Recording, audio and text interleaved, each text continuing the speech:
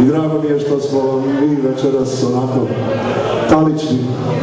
Prvi smo koji, ćemo, koji smo zasvirali ovdje i mislim da ako ste pozvali nas nećete imati problema.